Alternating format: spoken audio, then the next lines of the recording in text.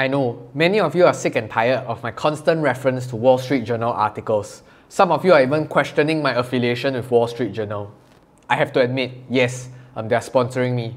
Nah, just kidding. Why would Wall Street Journal even bother sponsoring me? I'm just a random guy on the internet. But anyway, today I'll just like to provide you with a Singaporean perspective. Um, we'll be going through an article from CNA, which is Channel News Asia. And just to give you a very brief context, uh, MediaCorp actually owns CNA and Temasek Holdings actually owns MediaCorp. So essentially speaking, um, the Singapore government owns Temasek Holdings, and Temasek Holdings is managing one of our national pension fund, um, which is kind of contributed by all the Singaporean citizens out there. So I'd just like to say, um, CNA's views are not really endorsed by all the Singaporeans out there, but I just really provide you with a slant in how Singaporeans look at things. Oh, I also wanted to provide you with a breakdown about Temasek Holdings and their portfolio distribution. Um, just a quick look, you can see that they're extremely overweighted in China in 2021, um, roughly accounting for around 27%, and Singapore, our local economy, only holds 24%. So you can really understand what is the view of Singapore on China. So before I start, smash the like button if you want to. Um, don't smash if you don't want to, but it will make me sad. So anyway, um, this is just a commentary piece um, posted on CNA.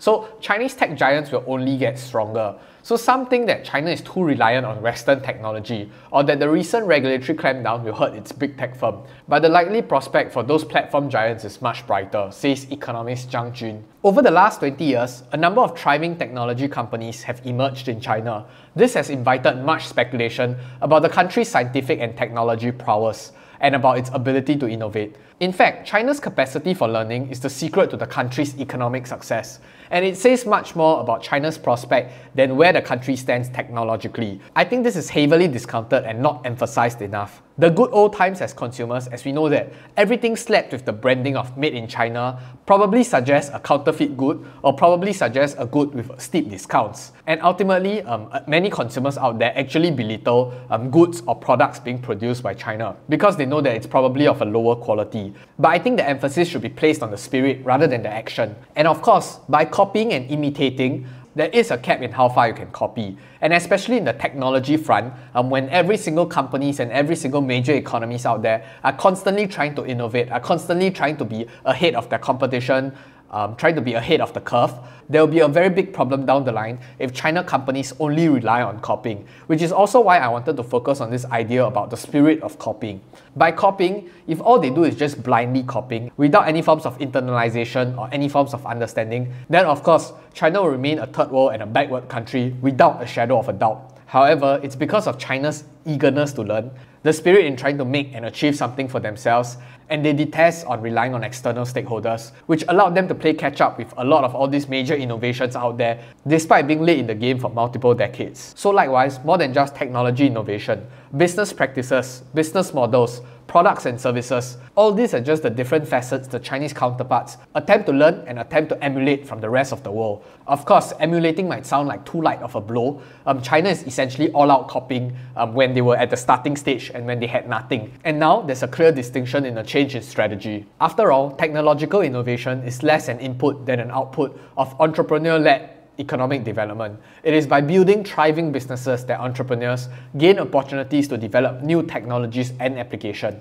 Furthermore, the government's effort to maintain internal economic order and mitigate financial risks, such as through increased regulation of tech companies, have been controversial in the market, and some foreign manufacturing firms have reportedly withdrawn from China. However, it helps that China has a huge internal market of 1.4 billion people, connected by well-developed transportation system, advanced communication networks, and flexible and efficient supply chains. While many foreign firms have come and gone, this has always happened and it is not because outsiders are treated unfairly in the Chinese market. So I also wanted to tap on this recent news about LinkedIn leaving China. Many of the speculations, especially people anti-China, say that it's essentially the government or the regulators forcing Microsoft out of China. But apparently, uh, most of Microsoft's business operations still remains in China. So at face value, it might seem that the Chinese government is slowly trying to drive all these American companies away. But a more plausible and pragmatic explanation is just the weak take-up rate and consumption of the Chinese people on the LinkedIn platform, and essentially translated to a failed business plan. Many people who are anti-China would definitely like to attribute this to the Chinese government,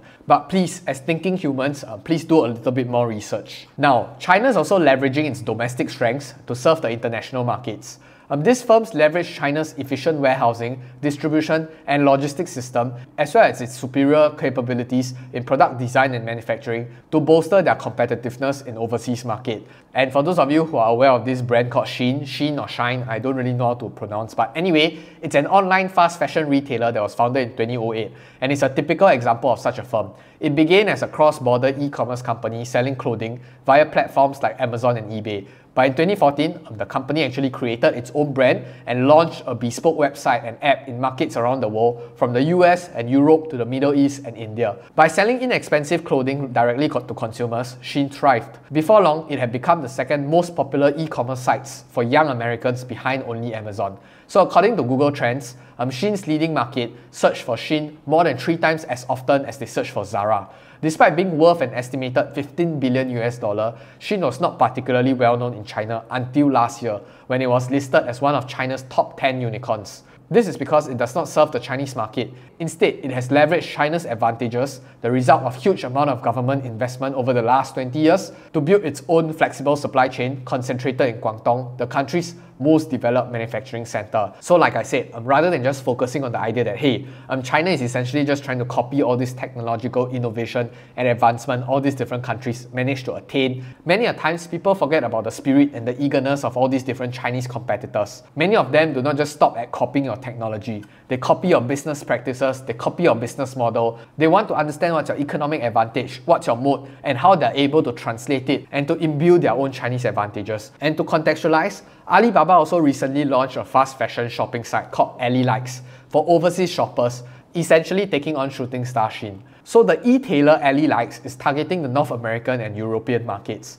So it currently ships to the European countries including France and Italy as well as Canada and the US. So similar to other fast fashion players, AllyLikes touts the speed with which it can list new styles and has 500 new arrivals each week. So it's also noted that AllyLikes leverages on Alibaba's rich e-commerce data processing abilities. So like I said, they like to copy, they like to leverage, they like to use all their unfair advantages to make sure that um, they're ahead of their competition.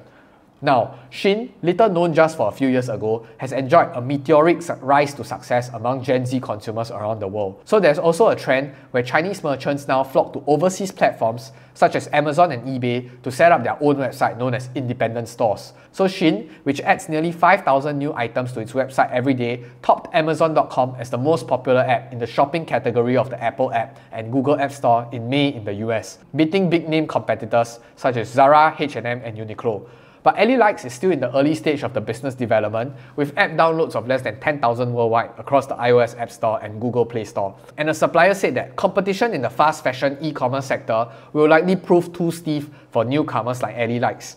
There are hundreds of independent stores in this sector, and money and resources from Alibaba will not be the determining factor in this competition. Deep knowledge and experience in the industry, including supply chain and design, will not be easily challenged. If AllyLikes really do have the blessing of Alibaba, supply chain, design, algorithm, you say it, Alibaba has it. So it's probably dependent on how far Alibaba wishes to take it and what's the business opportunity for Alibaba as a company um, to conquer all these international markets. So to sum up, I think the main takeaway is the main competitor competitive advantage of China isn't really their domestic consumption or a far superior government or a far superior structure. Honestly, it's just the mindset of the people. And in Chinese, there's this saying, 人心齐,泰山移.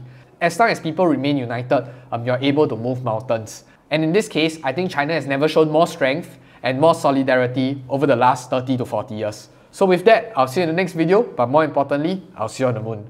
Goodbye!